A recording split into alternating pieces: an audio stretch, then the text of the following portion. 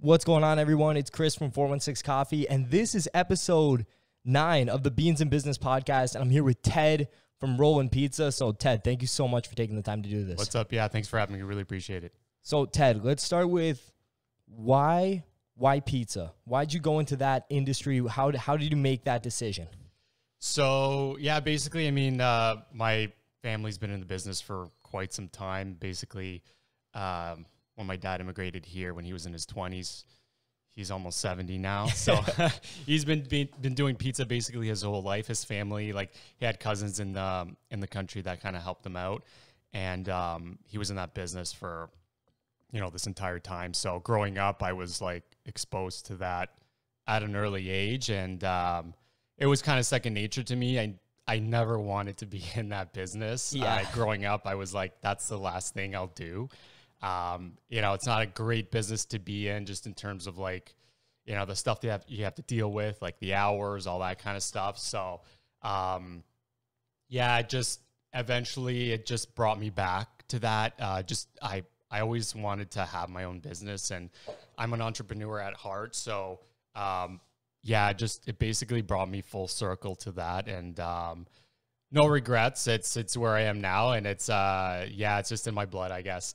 So, you said you're an entrepreneur by heart. Like, what kind of kid were you growing up? Like lemonade stand kind of kid, hustler, or what's the vibe? No, it was more so like um, you know, just being exposed to my uh, family business. Um, uh, they had restaurants and then like slowly real estate, and I just always was itching to do something for myself. And I worked for like tons of different companies, like you know, small companies, million dollar companies, multi billion dollar companies, and um, which was great. I had really good experiences, but at the end of it, I was always itching for like something else. So I would want to go to another company to make more money, to get more experience, to have a better position.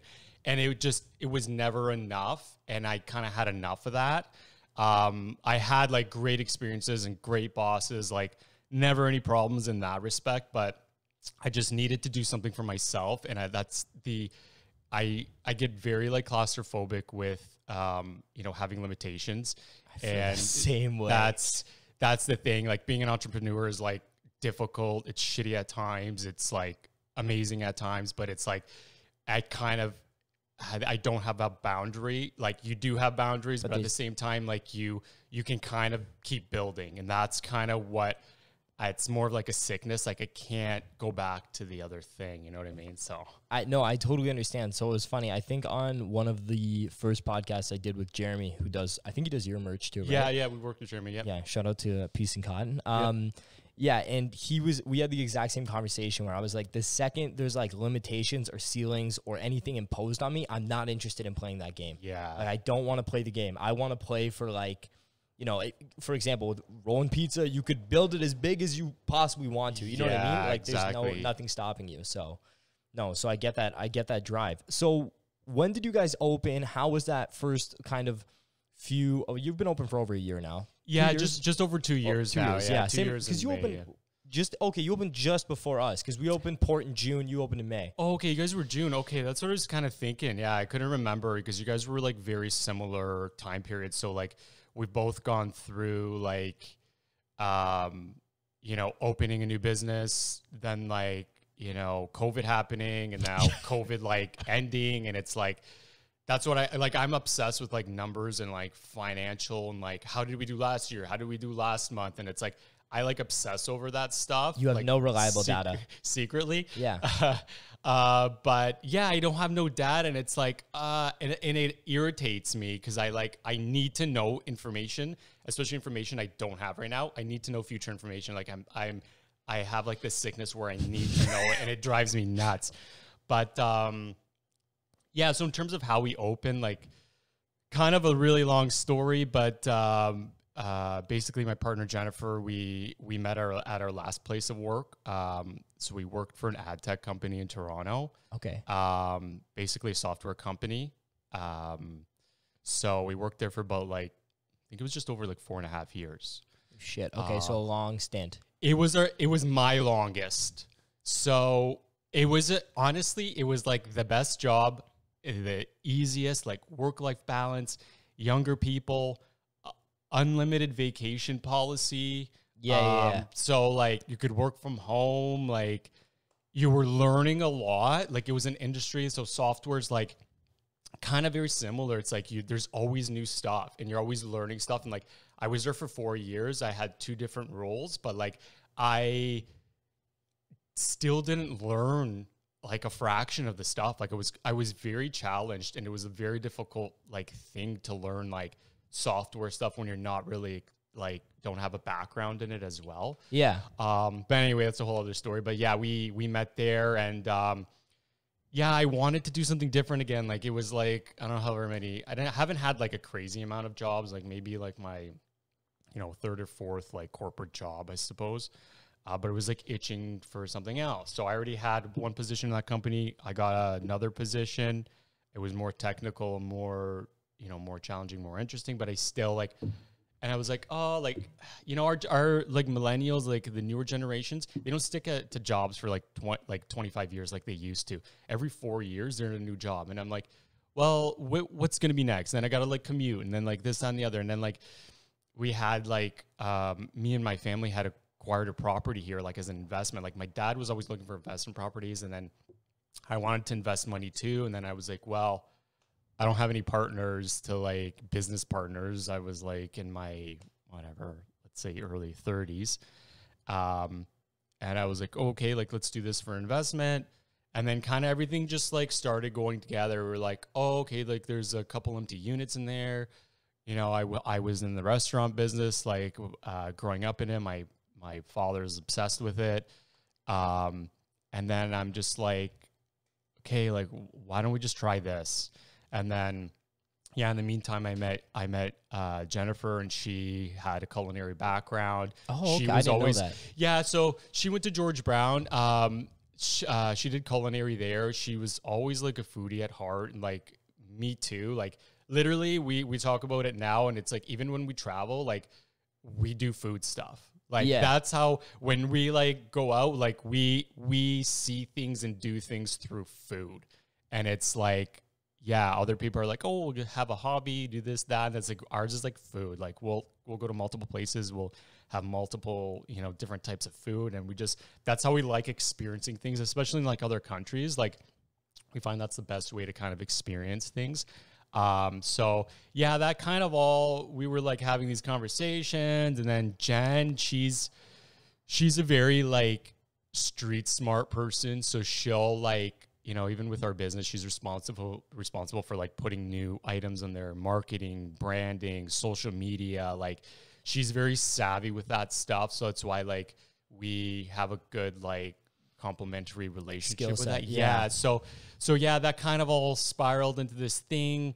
You know, it was kind of um it was my first real business too and Jen's first real business. I knew what I was getting into and I didn't. Like just imagine like I was like I'm never going to do this and then I was doing like that's how sick like I am like want, you know what I mean? Yeah. And it's like even to this day like I'll like bitch and complain about stuff and my mom's like, "Well, you wanted it. I told you not to do it." And I was like, "Oh, whatever. I I deserve it." You know what I mean? So but yeah, I kind of just like became this thing and then one thing led to another and there was like people calling to lease out the space and like one person was interested in a pizzeria and I was like I was secretly like jealous and like annoyed and I'm like, well, if someone's going to put a pizzeria there like it should be me. Yeah. And then it kind of like became this thing and then you know, it became like this huge project. So There you go. So was that like the genesis of the idea, or had you already been kind of planning?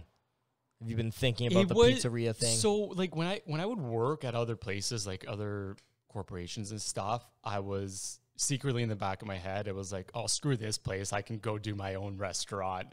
Like, you know, it'd be like my like thing I had in the back of my mind. But um yeah, it didn't really start becoming a concept till like, you know, uh 40, 50, 60, like 2017, 18 okay. and we started talking about it more. We started like being like, "Well, what would we call it?" And like, "Oh, well, what would we do? What kind of stuff would we have? What kind of kind of like clientele would we want?" And like, you know, things like Yeah. that. So it started becoming like a concept more like, yeah, 2017, 2018, and Yeah. yeah, just kind of grew from there. What do you think? helped make you guys stand out? Because obviously it's been two years. You guys are you guys are very successful. Um, I mean, it's a fantastic product, but beyond that, what what do you think helped helped you guys stand out? So that's the thing. Like, um, you know, I don't know how the coffee, you know, espresso market is. It's, it's similar. Uh, the pizza business is like exceptionally saturated. Yes. Like I can go walk down each corner that has like a commercial property and there's a pizzeria in there. And it's like, yeah, what that was the most difficult thing. Like, what's gonna set you apart? Because when I was growing up, like in my family's business, I was always like, okay, like they're in this for like 10 years, it's been 15 years, it's been 20. Like, are people gonna get sick of this food? And it's like we wanted to do something different. So that's why we kind of have like you know, our I guess like our signature pizzas are a little different. We offer like uh, more of a uh, variety with like vegan foods and vegetarian stuff as well. Um, so that's you know, and then kind of like trying to tackle social media. So that's kind of what we have as like a unique you know thing, thing. in our business. Yeah. Um, you know, I look at some of these other restaurants and pizzerias, and they have terrible, terrible branding. Like it's like yeah, it's just like you know, you go on like clip art and just like take yeah, like it's the, awful. it's yeah. terrible. So it's like, and it's like, yeah, ours isn't amazing either because it's like, it. Believe me, like, uh, I don't know with you guys, like when you got your like branding and naming, like you've obviously taken it to another level. Like with us, we had to like create it from scratch and like same everything's yeah. been taken. So it's like, oh my god, what name? That was that was the hardest part of the business is coming up with a name and a brand that was the most time consuming thing. Everything else is like, you know, dealing with engineers and like designers and like all this other crap. Like that stuff's frustrating, time consuming. But the most like stressful and time consuming thing was like the branding and the name because every name in the book is taken. Yeah, I guess with so, so many pizzerias, right? Like yeah, just and even just anything like people have just taken everything and made into a business and like registered the name. So it's it was uh, you know very like very frustrating thing for me anyway.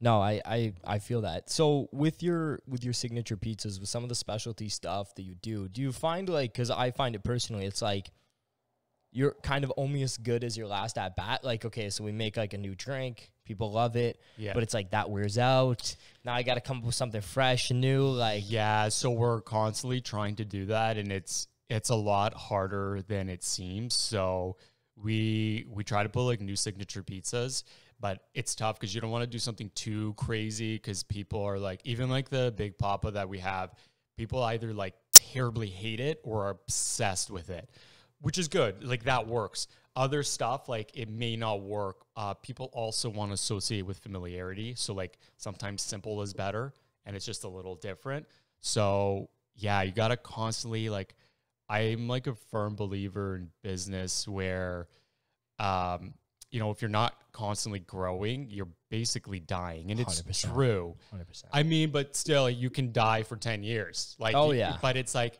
I don't want to do that. It's also hard to kind of stay on top of things, but you have to, like, you have to constantly, like, keep at it. So, putting new stuff, changing stuff, taking stuff away, trying to promote. So, it's just like, it's a constant, like, it's a constant battle, and there's no, like, there's no real strategy like for us anyways so it's just like whatever like sometimes we'll like you know jen will wake up and be like oh i've got this idea she'll try something out tastes like crap try something out it's amazing so it's like it's a constant like it's kind of like a you know it's a numbers game so yeah absolutely and then obviously working on the economics of like if you have to bring in new new toppings for that particular pizza that's, or whatever right yeah that's the problem because it's like we especially when we first opened like we had like a few more things but like we had such a wide variety and like toppings. Like we had like one prep table and we were like all crashing into each other. Then I got like this other one because I was like, okay, let's spread, put some vegan stuff here, like spread things out. People didn't like it. And then now it's like, oh my God, if we didn't have that, like we would die.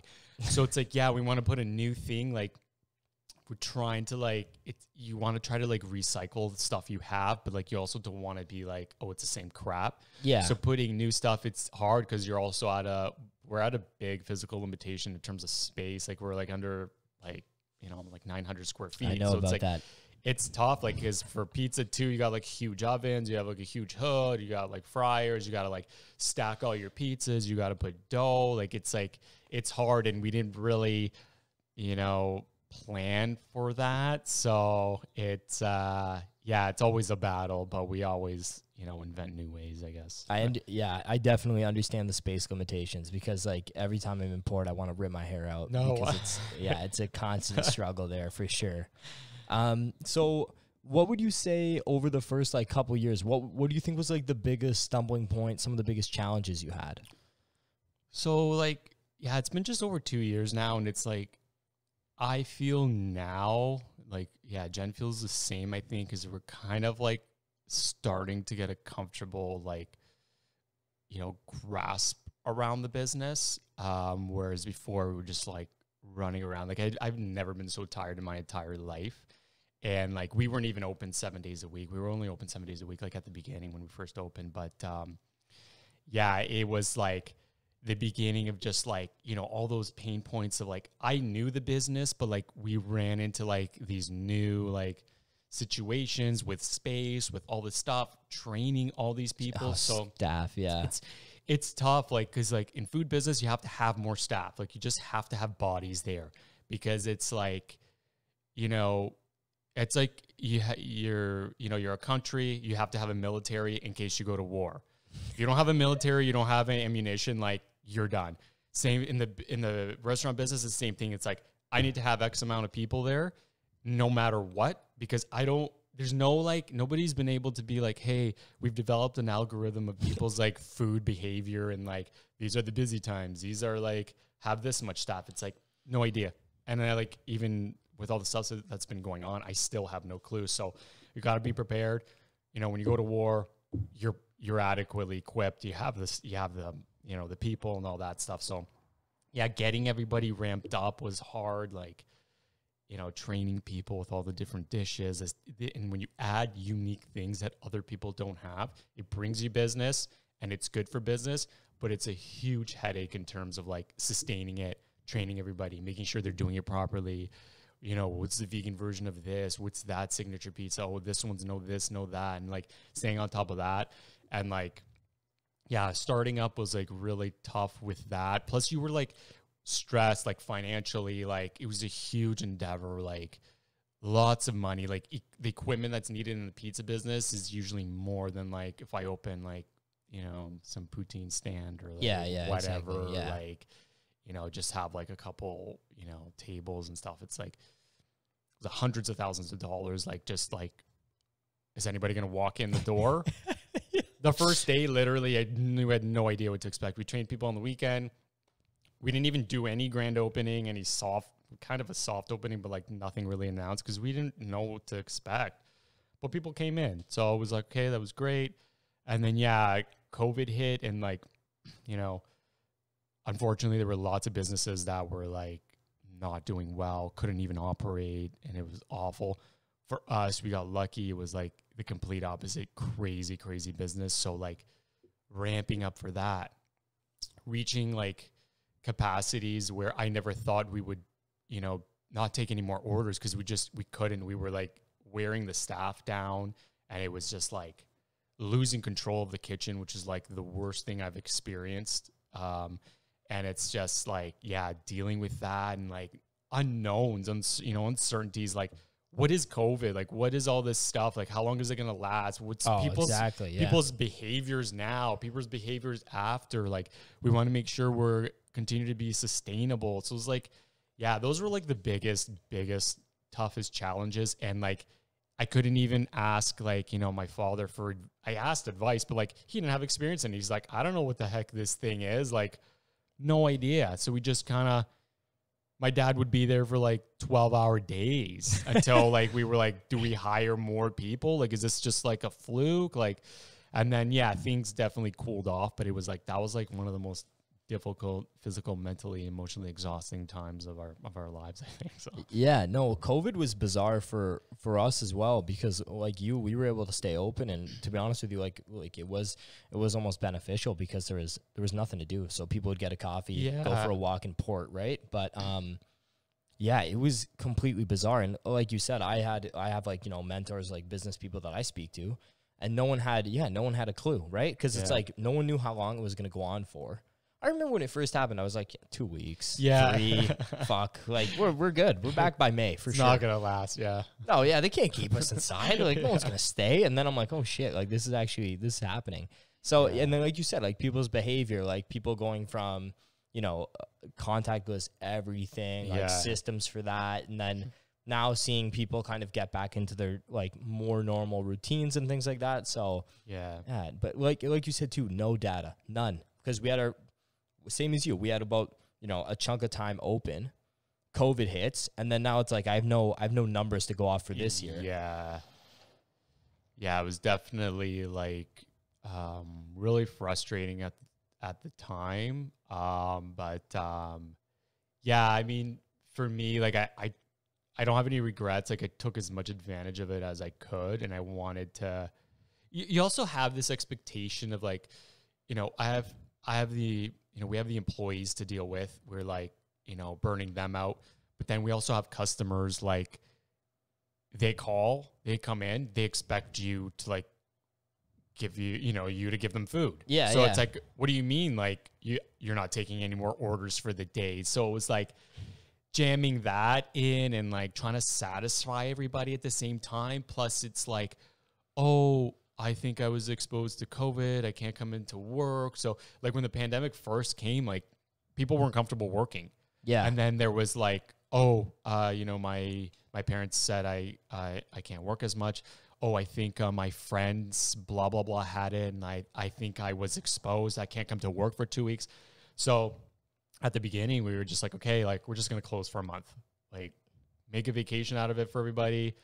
At that weekend before, we were just like running around like jackasses, and it's just like, okay, we need to just kind of regroup. yeah, So we had been open for uh yeah, not even a year, just just under a year at that point and then yeah, it's like just just goes to show like instead of like being like hey like let's take a month off whatever we were just like obsessed with like doing new menu items like what are we going to change in the menu like how are we going to execute like the next year and like we basically revamped our menu and like with that it like you know coincidental with covid as well it just kind of like cascaded into this like next like you know nine months of like crazy busy so um yeah and then it was just like nonstop and you know kind of just chilled recently so So, um, during kind of COVID, during the past, I guess, two years, so COVID, everything, what do you think your biggest challenges were as a leader? Because obviously you employ a good amount of people.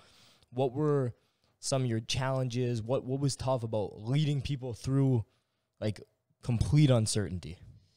Yeah, I mean, I guess a few things like people's like safety and all that stuff. Like people weren't comfortable. Like you know, we were I wanted to make sure people felt comfortable coming to work. Like that's a very important thing to me. Um, and it's tough when you got like 20 people. Like yeah, not all at once, but maybe like you know up to like 12 people at in like one small space. Um, we want to make sure like everybody gets along, everyone's comfortable. But like in terms of like COVID, it was like yeah, like I, I'm I'm a I'm more of like I guess an aggressive person. So like when there's business out there, like I'll I'll take it all. You know what I mean? So uh, when it got busy, like I would take on tend to take on more than Yeah. I should have at times, and I've been heavily criticized because of that from multiple people. I feel. What what okay, so what do you what what do you mean like by taking on more? You mean you're just working like insane hours or No, just taking on more orders than we were capable of like Oh. producing. like Okay. it, it, it was i never thought i'd have that Yeah. problem it was it, it was obviously like a uh, you know um, a period of time that that only happened but like we started creating like you know we would get so many orders and i would just take them be like hey 20 minutes 20 minutes 20 minutes and now you've taken like all these orders and you're telling everyone the same time which was stupid Yeah. but i was like i guess greedy or whatever i wanted to also please everybody Yeah. um, so we created like this timetable of like the maximum amount of orders we could handle in a 15 minute time slot. That didn't come till after, but before that, it was like, yeah, like there, you know, there were times where I took on too much, and like as a leader, people, people look like when I was growing up in the restaurant business and like my dad was there, I felt comfortable. And it's like, okay, like some shit happens, like, okay, it's my dad's problem, really. Yeah. So like w- when you have your own business, it's like, oh fuck, people are like looking at you, like, what do we do? So like, you know, there's been a handful of times where we've like literally drowned in the kitchen. Like when one thing spirals out of control, it's it's a two hour like you're treading water for two hours. Yeah. terrible feeling.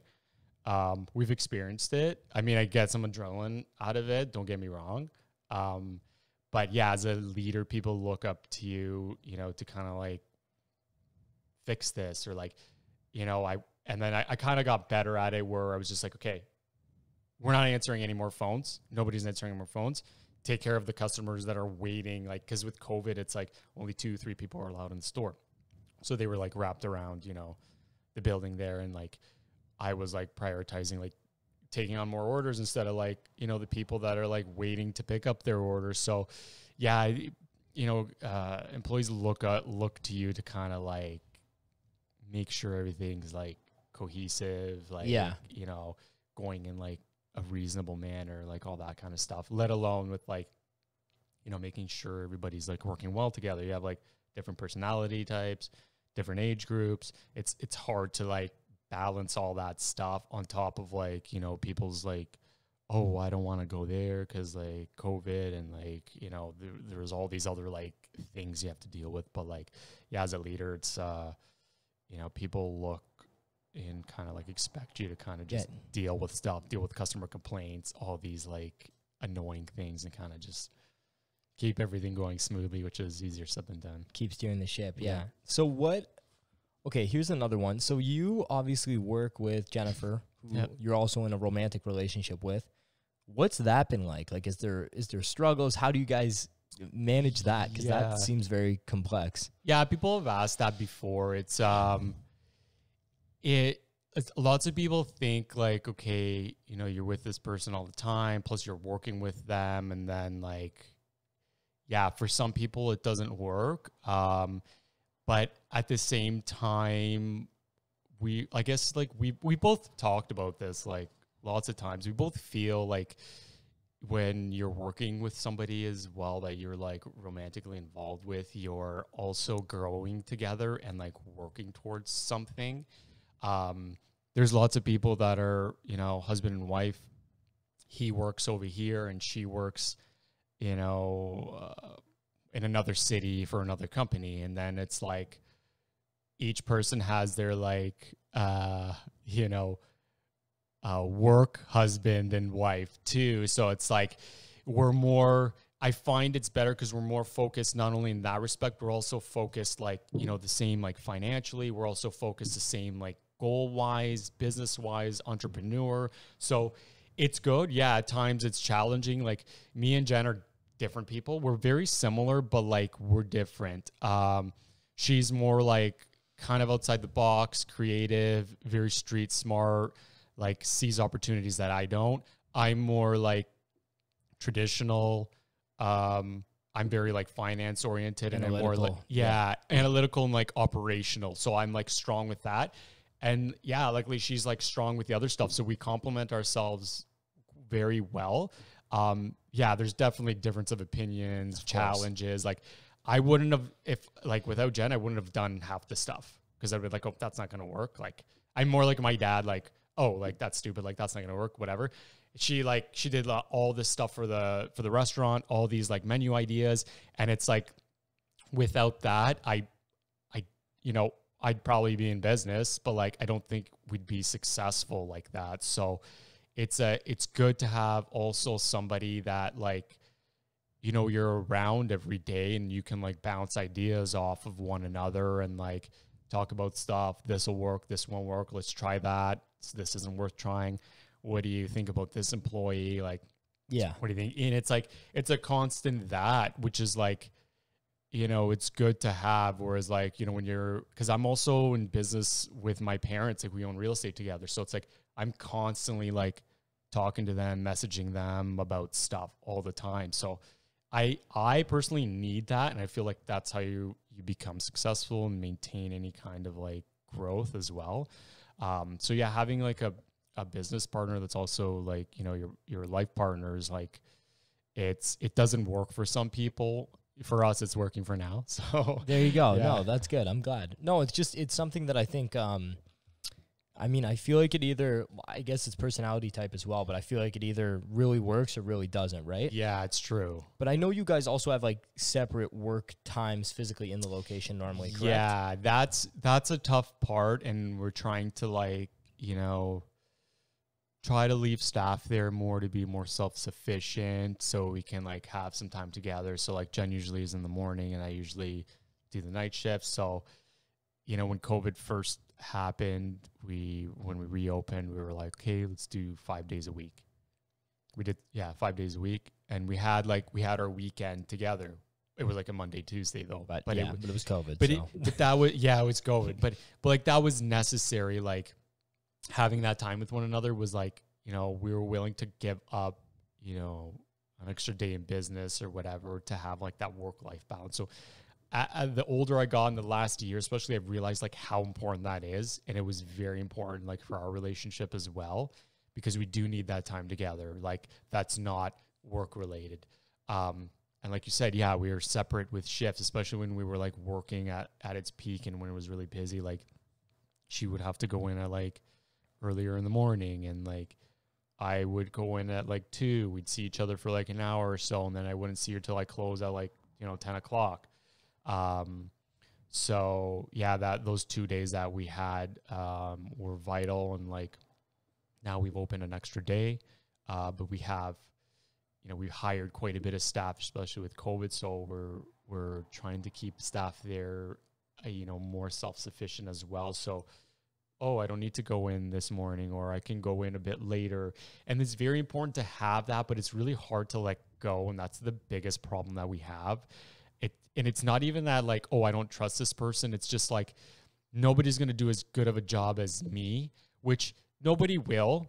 Maybe No. some people will. I think some people will, but it's like I I can't let go and I need to ensure its success and that it it there's a problem I like I I'm dealing with it and I'm aware of it. So it's hard to let go of that and that's what we're trying to work on, but it's easier said than done and you also don't want to, you know, lose everything because you're you're neglectful or whatever and like even employees probably don't like seeing like oh they're strolling, strolling in later or they're not even here today and then lots of people start getting ideas like oh maybe you can you know mess around here we can do that they're not nobody seems to care around here. So it's a hard that's a hard balance and we always thought like oh we'll own a business and like we'll just go visit quarterly or whatever and it's like i don't know if that's possible for other people it is and other people have succeeded at that that's something that in, always interests me and i I thought I could do it, but I, I'm really having a hard time with it. But we're trying to, you know, kind of find some middle ground there to get some some some better like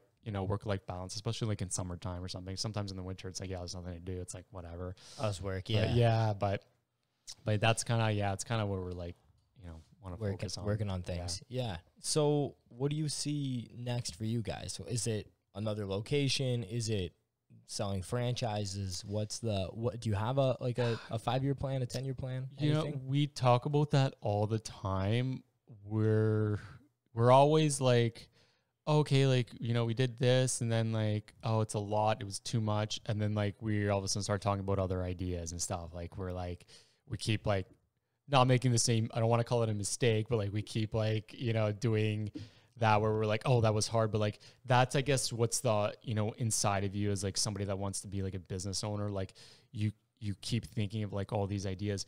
We don't really have anything set in stone. We we talk about stuff, you know, franchising. I haven't, you know, I've looked into it. I understand how franchising works, and you know, I think it's like uh, franchising is like a locations number. Uh, I know like there's lots of independent, well, independent franchises, I guess you can call them, that have kind of you know tried to execute that even in the city, and it's like yeah, but I mean, it's a numbers game. Like when you're getting percentages and royalties and like, you know, all these like franchise fees or whatever, you got to have locations to bring in. Like, you know, each location I'm getting 20 grand or whatever a year. So it's like, you know, you gotta have hundreds of locations or like lots and lots of locations. So having like, you know, three, four locations franchise, I don't think it's enough. Whereas like I can I can make that money in like owning one restaurant. So the franchise thing, yeah, kind of haven't really, you know, looked into that too much in terms of multiple locations. We've thought about it, but it's like it's tough. And it's like we have very high standards. Like, you know, I know we're just like a takeout pizzeria, whatever. It's not it's not like some like crazy fancy place, but we do i always want to be the best at what i do like i i don't have much of an ego i don't think but like with that kind of stuff it's like i well i want to it's like it's my reputation i don't want to be embarrassed of something you know i want to make sure there's like a level of quality a level of consistency and it's like i'm struggling to do that with one location Yeah. so I don't know. It's kind of something like I just have to keep, you know, sitting on and like talking about it with Jen. And then she kind of, she's, I'm kind of waiting for her to like kind of give me ideas because I'm more of like, uh, I'm a very aggressive and risk taker, but I'm also very like conservative and cautious, uh, if that makes sense. Yeah. So I'm I'm very like I'll like see what's out there an opportunity and I want to analyze it and I want to like execute it and like attack it, you know, you know without any warning. But like I need to be very confident in what I'm going to do. And then there's you know the whole financial like throwing tons of money here with like an unknown again like um that was like very stressful but like now it's like all done and over with. And it's like it's I want to do it again. It's kind of yeah. stupid, you know what I mean? So you guys know with like two locations, it's like I'm sure you've experienced that and it's like okay, the first one was this, but then like you also get a different level of confidence and like experience, so it's like it's not as difficult too. So there's a lot of things, but we don't have anything that's like really set in stone and it's like do we want to, you know, keeping in this industry um and kind of you tie yourself down again with something new because up and running, you know, getting it started takes years. So it's I- like that's yeah. a big commitment as well.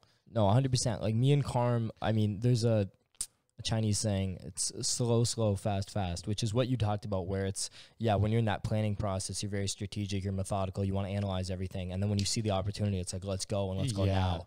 Um, me and Carm, maybe by, uh, I, I'd say I'm more like you in the sense that I'm pretty strategic and I, I like to think about things a bit more. And Carm's the complete opposite. Like, literally, it's just like, let's fucking go and we'll figure it out. Yeah. So, uh, g- like our Grimsby location was literally Carm was like, "Yeah, I saw a place, corner over here. Um, I'm going to see it tomorrow." I'm like, "Okay." Like he calls me. I'm like, "All right, sounds good." This is like February. Yeah. Okay, cool. And then uh, he's like, "Yep." um, sent over a mock lease agreement. It was just like that. Like I don't. I didn't. I did not see the. I think I saw the place once actually before we signed the lease. That was it. yeah. And we had like we didn't really know what we were getting ourselves into. So yeah. and it's it's it's like challenging it's scary but i mean we we had confidence in our ability and luckily we have um like a core group of people that work with us that we were very confident that that we could build around them there um shout out to like the the four people that we have there right now like shelby alicia peyton isabel um just like a great team of people there Yep. um which has made our life a lot easier but i'd say like the biggest challenge for us and i'm, I'm sure you feel the same way is is human resources is hr it's getting people that you can trust when you're not there, right? And Yeah. that's that's probably where I think in both of our industries, it's a, it's a human industry. So like scale becomes a problem. Yeah, for sure. That's the thing, like training people, picking the right people, you know, let alone if they show up for work, like all those things. And it's like, that's the one thing where I think a lot of people fail or like, you know, there's lots of businesses that are very narrow minded. They'll see things like, I'm going to run this business and like it's going to be me and my wife, and then I'll just hire another person. And like, you know, instead of hiring another five or 10 people and growing, they'll be like, oh, I'll take that money for myself. So instead of wasting it on employees, like I'll make that money and like I'll be more profitable. But it doesn't work like that. You need to expand. You need to hire people. You need to have the overhead. You know, every industry is different. Like you guys might not need as many People. people, Yeah, because it's it's, like, yeah, Yeah. you have like baristas or whatever. Whereas us, it's like, oh, in order for you to walk to the fryer and then walk to the pizza and then answer the phone and then cash somebody out and then go make some pasta and then go sheet some more pizzas and then fill up the toppings, like you need six people right there. Yeah. So other places of the pizzerias I see, I, there, I don't know. I walk into the pizzerias and there's two people there, like on a on a busy night. Sometimes there's three, and I'm just like, how are these people doing it? It's like I get it. A lot of them have like you know electronic orders, like through the apps and stuff, makes things a lot easier. Um, but at the same time, it's like, well, how much business are these people doing? Like that's the thing I don't understand. So a lot of people like narrow minded in that respect, where they're not wanting to invest in it because it's true. It's like, yeah, you have like you're starting to pay like a hundred dollars an hour in labor. It's like you better be making some money, like for sure. And that's scary. But in order in order to grow, you gotta you gotta like do that. You You, have have, to. to. invest in your business. And if you're not constantly investing in the business, don't expect to get anything out of it too. So that's that's kind of the the the you know the biggest lesson I've learned. I and I luckily was fortunate to kind of know that growing up because I would see like you know, my parents had successful businesses that I'd see other places that were like you know, they were working somewhere for like 30, 40 years and they like never had anything at the end of it to show for it. And it's like, oh, I guess they were just like working at a at a job paying themselves minimum wage, which is great. But also like I never wanted to be like that. I want to like always grow. I want to push. Yes, the older I get, the more like tired I'm getting, the more like uh, I don't care about that. I just want my my time, you know, my personal time. But in terms of like being like an aggressive business person, I think that's one of the most important things you need to like like focus on. Yeah. I would say for like any new people opening a business. But at the same time, when you're opening and you're new, you got to be really cautious. You got to be like, you know, seeing what the numbers are, what's happening, what businesses out there, what your real strategy is, and then yes, obviously grow as each year passes by, and like numbers always have to make sense. Number one, and like you got to be very confident and comfortable with your product and you know what you have to offer. Yeah, no, that makes that makes a lot of sense to me, and I I agree. Like it's it's a balance of you know the aggression when it's right, and then like being cautious, taking your time, thinking Yeah. about things. How old are you, Ted?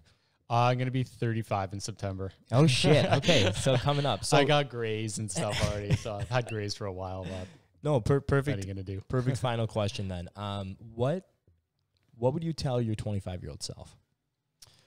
Oh, that's a tough one. What would I tell my 25 year old self? Ah, I mean, I would, you know, myself or any other 25 year old, um, just make sure that you take all the risks that you want to and have wanted to at that age and even younger because you have time to recoup if something doesn't go right or you make some mistakes. Making mistakes are fine too, but you know, just take all the risks that you want to take. Like, don't look back. It's similar to what we did. It's like I, yeah, maybe we have some regrets, I guess, but like at the end of it all, like I saw this through, and that's what I wanted to do, and like Jen as well. Um, so at least we saw it through you know, had we sat there, had our job, and like, you know, nine to fives are great, weekends are great, um, vacations are great as well, uh, unlimited especially. but um, yeah, take all the risks and like don't look back. And it's like, you know, you want to like live your life and um, you know, see everything through any kind of thing you've always wanted to do. And the only way to do that is just to like go forward. Um, you know, lots of people are always hesitant with like businesses and like, oh, it's going to cost so much. And like, money is never the problem. Yes, it is if you're talking like millions of dollars or whatever, but like financing a business, like that's never a problem. The problem is like executing it day to day, seeing it through, you know, working through it. So, yeah, I definitely just take all the risks and just, you know, go forward within reason, of course. That's awesome. No, thank you. I'm 25, so I appreciate. All right, I 10 more appreciate that years. advice. Um, so lastly, just tell everyone where they can find Rollin Pizza, where you guys are, Instagram, all your handles, whatever. Just give people shameless self promotion. Let's go. Yeah, for sure. So 314 Lake Street. Uh, we're in St. Catharines, single shop, um, kind of hidden a little bit uh, um, in the plaza there, but um, rollinpizza.ca. Don't ask me about social media stuff. Jen's gonna kill me. I don't know what the handle or whatever is. well, I think it's Rollin Pizza Inc. because Rollin Pizza was taking something, but Rollin Pizza Inc. on Instagram. Google us, you'll find us. Uh, yeah, we're open. You know, only closed Tuesdays, so open every other day of the week. Uh, so yeah, any vegetarian, vegan options, pizza, pasta, wings, no more subs. Carmen's upset about that. So I always I know he gives gives me you grief. shit. Yeah, I'll surprise him one day. I'll order some and uh, bring him one. But uh, beautiful. Well, Ted, thanks so much for taking the time to do this. for sure, thanks for having me. Appreciate it.